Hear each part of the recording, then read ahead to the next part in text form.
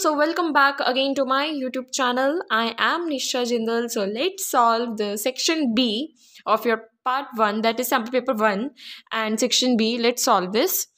So question number 25th we are there and here the following reaction is used for the preparation of oxygen gas in laboratory. आपको एक reaction दी हुई है जिसमें आपको बताना है इसके बारे में क्या correct है.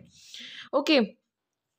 So it is a decomposition reaction And endothermic reaction क्या ये डीकम्पोजिशन रिएक्शन है? येस एक कंपाउंड दो मॉलिक्यूल्स एक तरह से हम दो मॉलिक्यूल्स बोल सकते हैं।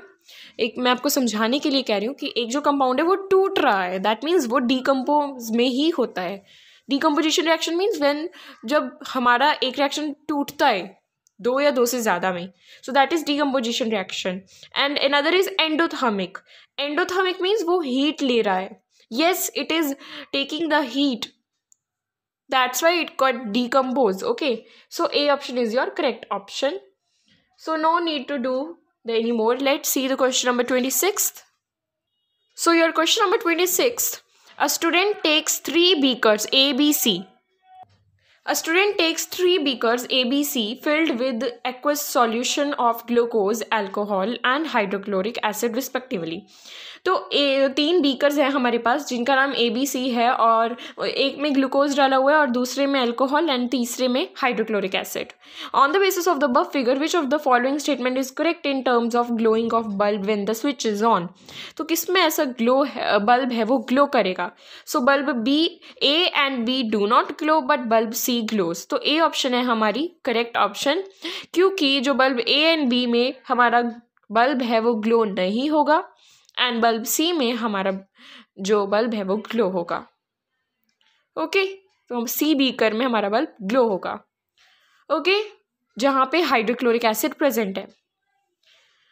Now next move on to the question number twenty seventh generally metals react with acids to give salt and hydrogen gas okay which of the following acids do not does not give hydrogen gas on reacting with metals ऐसे कौन से metals हैं कुछ metals तो क्या करते हैं, वो सॉल्ट और हाइड्रोजन गैस के साथ रिएक्ट कर जाते हैं। पर ऐसे कौन से एक्सेप्शनल केसेस हैं, जिनमें ऐसा नहीं होता? So B option is your correct option nitric acid okay? So, let's move on to the question number 28 the electronic configuration of three elements, x, y, z, are as follows. So, ये आपको पता ही है electronic configuration which of the following is correct so so, इससे हमें electronic configuration से पता लगाना है। सो so, यहाँ पे हमारी डी ऑप्शन करेक्ट है जिसमें वाई हमारा नॉन मेटल है और जेड हमारा मेटल है। Okay now question number twenty nine the table gives the P H value of four solutions P Q R S हमें सॉल्यूशन दिया हुआ उनकी पी एच वैल्यूज़ दे रखी है। So which of the following correctly represent the solution in increasing order of their hydronium ions concentration so आपको metal को देख के पता लगाना, आपके पीएच वैल्यू के हिसाब से लगाना हाइड्रोनियम आइंस किसमें होते हैं तो वो सी ऑप्शन उसके रिलेटेड आपकी करेक्ट है। Next question number thirtieth pick up the correct statement from the among the following so A option common salt does not contain chlorine element common salt can be use for commercial production of sodium hydroxide so B option is the correct option जहाँ पे आप हम common salt है, वो use कर सकते हैं commercial production of sodium hydroxide के लिए। Now let's move on to the question number 31 to 35 that are all uh, assertion and reasons. So hydronium ions question number 31 so hydronium ions assertion here with hydronium ions are present even in basic solution. Basic solution have ph value more than 7 both are correct but reason is a not correct explanation of assertion. Assertion now again Zinc oxide is amphoteric oxide, amphoteric in nature और zinc oxide reacts with both acid and bases yes true amphoteric oxides amphoteric क्या होता है? जो दोनों के साथ react कर जाते हैं एसिड के साथ भी और बेस के साथ बेस बेसिस के साथ भी. दैट्स वाई उन्होंने रीजन बिल्कुल सही दिया है एम्फोटेरिक क्या होता है. उसी को बताया हुआ that's means A option is your correct option assertion and reason both are the correct explanation reason is a correct explanation of assertion okay so uh, now again question number 33 assertion the ventricles have thicker mus- muscular walls compared to auricles reason they receive blood from various body parts here it is given c option is your correct option where assertion is true and reason is false हाँ ventricles के thicker muscular walls होते हैं as compared to auricles but reason is not correct okay next assertion. A rainbow is sometimes seen in the sky in rainy season. Only when observers black is towards the sun. Yes assertion is true. Now reason. Internal reflection in the water droplets causes dispersion and the final rays are in backward direction. False. This is not correct. A solution turns red litmus to blue. Its ph is likely to be so so, red से वो blue में आया मतलब basic basic में हमारी देखिए हमें P H value किसके ज़्यादा होती है? सो so, सबसे ज़्यादा वाली यहाँ पे आएगी that is ten which is the correct sequence of body parts in the human alimentary canal तो सबसे पहले क्या होता है? हम खाना चबाते हैं उसे माउथ में लेके जाते हैं। देन उसके बाद oesophagus oesophagus is a food pipe oesophagus के बाद हम उसे स्टमक में लेके जाते हैं।